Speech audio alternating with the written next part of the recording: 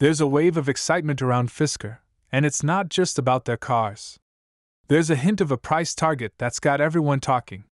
Curious? Let's dive right in.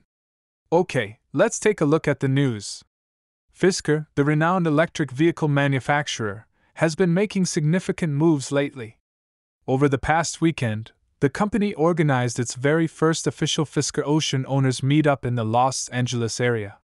This wasn't just a casual gathering, it was an event where owners got a chance to update their vehicles with the latest software packages. But that's not all. While their cars were getting tech upgrades, the owners were whisked away to the Fisker Lounge at the Grove. Here, they had the unique opportunity to interact with Fisker's top executives, sharing their experiences and offering candid feedback. The event was a testament to Fisker's commitment to its customers, taking their suggestions seriously and ensuring they feel valued. But the excitement doesn't end there. Fisker has also announced its expansion into three new European markets Belgium, the Netherlands, and Switzerland. This is a strategic move, signaling Fisker's ambition to establish a strong foothold in the European electric vehicle market. With dedicated websites for each country and a direct sales model, Fisker is ensuring a seamless experience for its European customers. And to top it off, they're planning to set up retail stores, delivery points, and service centers in these countries, all strategically located near major cities.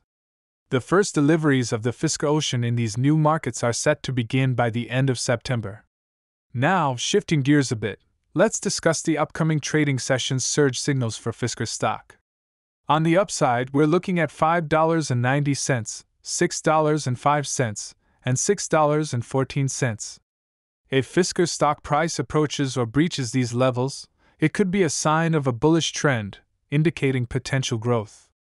On the downside, the signals are $5.66, $5.57, and $5.42. If the stock hits these markers, it might suggest a bearish trend, hinting at possible dips. These surge signals are like a roadmap for traders, helping to navigate the volatile world of stocks. Alright, folks, as we wrap up, I've got a question for you. With Fisker's recent moves and expansion, where do you see the company in the next five years? Drop your thoughts in the comments below. And if you found this deep dive insightful, do hit that like button. If you haven't subscribed yet, now's the time. Comment subscribe below and we promise to engage with as many of you as we can. Stay tuned for more electrifying updates, and until next time, drive safe and invest wisely.